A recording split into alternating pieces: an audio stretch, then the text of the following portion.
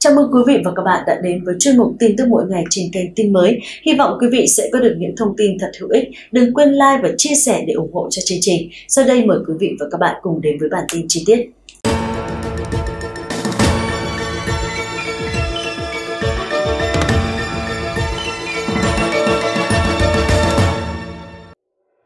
Quý vị, theo Trung tâm Dự báo Khí tượng Thủy văn Quốc gia, nắng nóng ở Bắc Bộ và Trung Bộ sẽ giảm dần đến giữa tháng 6. Trong khi đó, bão và áp thấp nhiệt đới có khả năng hoạt động trên Biển Đông và ảnh hưởng đến khu vực Bắc Bộ, Bắc Trung Bộ. Trên biển, trong ngày và đêm nay, ở khu vực Bình Thuận đến Cà Mau có gió Tây Nam mạnh cấp 5, có lúc cấp 6, giật cấp 7, cấp 8, sóng biển cao từ 2 đến 3 mét, biển động. Ngoài ra, do ảnh hưởng của giải hội tụ nhiệt đới nối với vùng áp thấp phân tích trên, với gió mùa Tây Nam ở phía Nam có cường độ trung bình mạnh, nên ngày và đêm nay ở vịnh Bắc Bộ, vùng biển từ Quảng Trị đến Cà Mau, từ Cà Mau đến Kiên Giang, Vịnh Thái Lan và khu vực Biển Đông, bao gồm vùng biển quần đảo Hoàng Sa và Trường Sa, có mưa rào và rông. Trong mưa rông có khả năng xảy ra lốc xoáy và gió rất mạnh. Đề cập đến xu thế nhiệt độ và lượng mưa trong tháng 6, Phó trưởng phòng dự báo khí hậu Trung tâm Dự báo Khí tượng Thủy văn Quốc gia Nguyễn Đức Hòa cho biết, nhiệt độ trung bình tháng tại các khu vực trên phạm vi toàn quốc phổ biến ở mức cao hơn từ 0,5 đến 1 độ C, có nơi cao hơn so với trung bình nhiều năm cùng thời kỳ. Trong tháng 6 năm 2023, lượng mưa tại khu vực Bắc Bộ, Bắc và Trung Bộ phổ biến ở mức thấp hơn so với trung bình nhiều năm từ 10 đến 20%, khu vực Nam Bộ ở mức sấp xỉ trung bình nhiều năm, khu vực Tây Nguyên và Nam Bộ phổ biến cao hơn từ 5 đến 20% so với trung bình nhiều năm cùng thời kỳ. Ngoài ra, khu vực Tây Nguyên, Nam Bộ xuất hiện nhiều ngày mưa rào và rông, khu vực Bắc Bộ, Bắc Trung Bộ mưa có xu hướng tập trung vào giữa và cuối tháng. Tuy nhiên, tổng lượng mưa cả tháng vẫn có xu hướng thấp hơn trung bình nhiều năm.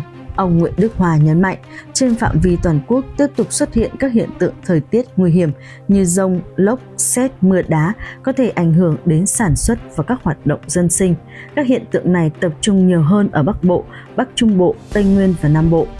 Trước hình thái thời tiết trên, chuyên gia khí tượng thủy văn khuyến cáo chính quyền các cấp đơn vị chức năng cần cung cấp nhanh kịp thời thông tin dự báo thiên tai cho người dân, chỉ đạo công tác phòng chống thiên tai bằng các hình thức khác nhau, vận động tuyên truyền cũng như thực hiện lệnh cấm tuyệt đối người dân hoạt động tại các khu vực có nguy cơ rủi ro cao, dễ xảy ra rông lốc, xét, mưa đá người dân cần tuân thủ chặt chẽ hướng dẫn công tác ứng phó, phòng tránh thiên tai của chính quyền địa phương, cập nhật thường xuyên thông tin dự báo khí tượng thủy văn mới nhất trên các phương tiện truyền thông để chủ động ứng phó.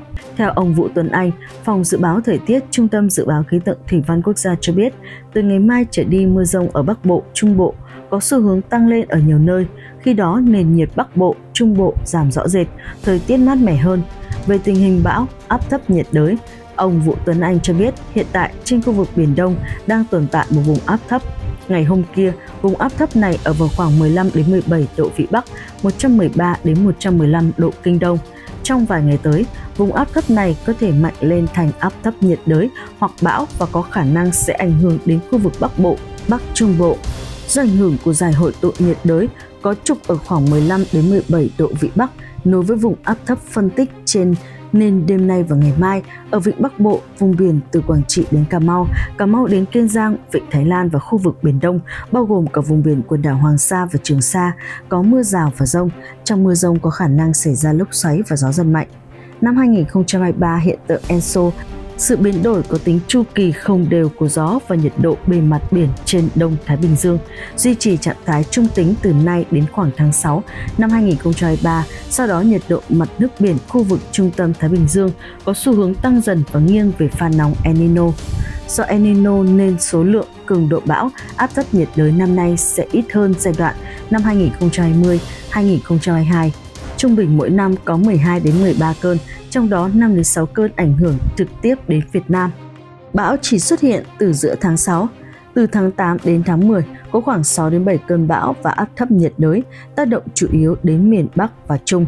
Năm chuyển pha Enso, thời tiết khí hậu thường có những biến động mạnh nên trên phạm vi toàn quốc, cũng như các khu vực Biển Đông, đề phòng bão mạnh hướng di chuyển phức tạp, mưa lớn cục bộ, các hiện tượng thời tiết nguy hiểm khác trên phạm vi toàn quốc, đặc biệt trong các tháng chuyển mùa và trong thời kỳ mùa mưa bão năm 2023. Nguy cơ ngập lụt tại các đô thị, thành phố lớn tiếp tục diễn ra do ảnh hưởng của mưa lớn cục bộ. lũ quét sạt lở đất nguy cơ cao xuất hiện tại các tỉnh khu vực vùng núi phía Bắc, ông Vũ Tuấn Anh cho biết. Mùa lũ năm 2023 trên sông Mekong xuất hiện tương đương hàng năm. Đỉnh lũ năm 2023 ở đầu nguồn sông Cửu Long ở mức báo động 1 và dưới báo động 1, tương đương đỉnh lũ các năm trước. Đỉnh lũ tại các trạm hạ lưu sông Cửu Long ở mức báo động 2, báo động 3 và trên báo động 3. Theo Trung tâm Dự báo Khí tượng Thủy văn Quốc gia, từ chiều tối nay đến ngày mai, khu vực Tây Nguyên và Nam Bộ có mưa vừa, mưa to, có nơi mưa rất to và rải rác có rông, với lượng mưa từ 50 đến 100 mm, có nơi trên 150 mm. Thời gian xảy ra mưa lớn tập trung vào chiều và tối. Khu vực Bắc Bộ và Trung Bộ có mưa rào và rông rải rác, cục bộ có mưa to với lượng mưa từ 20 đến 40 mm, có nơi trên 60 mm. Cụ thể, từ 19 giờ ngày hôm qua đến 19 giờ ngày hôm nay, khu vực Tây Nguyên và Nam Bộ có lượng mưa từ 30 đến 60 mm, có nơi trên 80 mm. Từ 19 giờ ngày mai đến 19 giờ ngày kia, khu vực Tây Nguyên và Nam Bộ có lượng mưa từ 20 đến 50 mm, có nơi trên 70 mm. Cảnh báo mưa rông diện rộng và mưa lớn cục bộ ở khu vực Tây Nguyên và Nam Bộ còn có khả năng kéo dài trong nhiều ngày tiếp theo. Từ đêm nay đến khoảng ngày 13 tháng 6, khu vực Bắc Bộ và Thanh Hóa có khả năng xảy ra một đợt mưa lớn diện rộng, cấp độ rủi ro thiên tai do mưa lớn, lốc, xét, mưa đá cấp 1. Các chuyên gia khí tượng cảnh báo các khu vực nêu trên đề phòng nguy cơ xảy ra lũ quét sạt lở đất tại khu vực vùng núi và ngập ống tại các khu vực trũng thấp, đề phòng mưa với cường độ lớn trong một thời gian ngắn gây ngập úng tại các khu đô thị. Trong mưa rông có khả năng xảy ra lốc, xét, mưa đá và gió giật mạnh. Trên biển, Hiện giải hội tụ nhiệt đới có trục ở khoảng 17 đến 19 độ vĩ Bắc, nối với vùng áp thấp trên khu vực Biển Đông, có vị trí lúc 13 giờ chiều nay ở vào khoảng 17,5 đến 18,5 độ vĩ Bắc, 111 đến 112 độ kinh đông. Trạm đảo Phú Quý đã có gió Tây Nam mạnh cấp 5, có lúc cấp 6, giật cấp 7. Dự báo trong đêm nay và ngày mai, vùng biển từ Ninh Thuận đến Cà Mau có gió Tây Nam mạnh cấp 5, có lúc cấp 6, giật cấp 7. Sóng biển cao từ 2 đến 3 mét, biển động. Ngoài ra, do ảnh hưởng của giải hội tụ nhiệt đới nối vùng áp thấp với gió mùa Tây Nam ở phía Nam có cường độ trung bình đến mạnh, đêm nay và ngày mai, vịnh Bắc Bộ, vùng biển từ Quảng Trị đến Cà Mau, Cà Mau đến Kiên Giang, vịnh Thái Lan và khu vực Biển Đông, bao gồm vùng biển Hoàng Sa và Trường Sa, có mưa rào và rông. Trong mưa rông có khả năng xảy ra lốc xoáy và gió giật mạnh. Tiếp theo là diễn biến thời tiết chiều tối và đêm nay. Phía Tây Bắc Bộ có mưa rào, rông rải rác, cục bộ có mưa vừa mưa to, trong mưa rông có khả năng xảy ra lốc, xét và gió giật mạnh. Nhiệt độ thấp nhất từ 24 đến 27 độ, có nơi dưới 23 độ C. Phía đông bắc bộ có mưa rào và rông rải rác, cục bộ có mưa to. Trong mưa rông có khả năng xảy ra lốc, xét, mưa đá và gió giật mạnh. Nhiệt độ thấp nhất từ 25 đến 28 độ, có nơi dưới 25 độ C. Thủ đô Hà Nội có mưa rào, rông, cục bộ có mưa to. Trong mưa rông có khả năng xảy ra lốc, xét, mưa đá và gió giật mạnh. Nhiệt độ thấp nhất từ 26 đến 28 độ C. Các tỉnh từ Thanh Hóa đến Thừa Thiên Huế có mưa rào và rông vài nơi, đêm có mưa rào và rông rải rác, cục bộ có mưa to, trong mưa rông có khả năng xảy ra lốc, xét, mưa đá và gió giật mạnh. Nhiệt độ thấp nhất từ 24 đến 27 độ C. Các tỉnh, thành phố từ Đà Nẵng đến Bình Thuận có mưa rào và rông vài nơi. Riêng tối có mưa rào và rông rải rác, cục bộ có mưa to, trong mưa rông có khả năng xảy ra lốc, xét, mưa đá và gió giật mạnh. Gió Tây Nam cấp 2, cấp 3, nhiệt độ thấp nhất từ 25 đến 28 độ C. Khu vực Tây Nguyên và Nam Bộ có mưa vừa, mưa to, có nơi mưa rất to và rải rác có rông.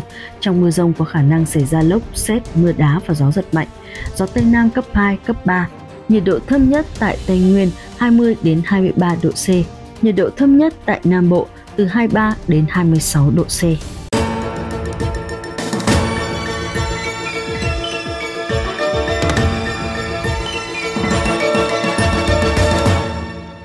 Những thông tin vừa rồi cũng đã kết thúc bản tin thời sự tổng hợp ngày hôm nay. Chúng tôi sẽ tiếp tục cập nhật những thông tin mới nhất trong những bản tin tiếp theo. Quý vị hãy đăng ký kênh tin mới để theo dõi. Còn bây giờ, xin chào và hẹn gặp lại.